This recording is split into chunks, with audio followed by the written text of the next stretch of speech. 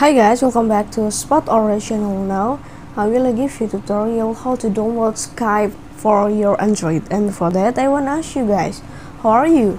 So don't miss out our videos, don't forget to like, share and subscribe to this channel. And let's go to the started.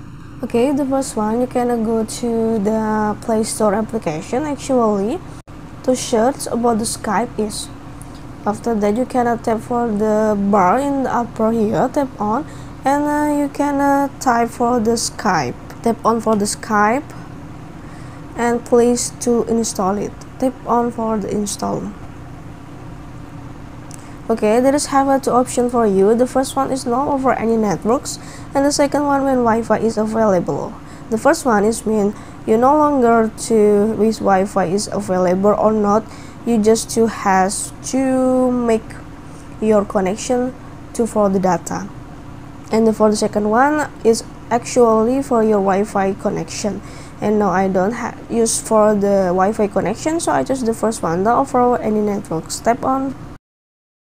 Okay Skype now installed for your cell phone. Let's go for the profile and let's go the Skype is installed or not.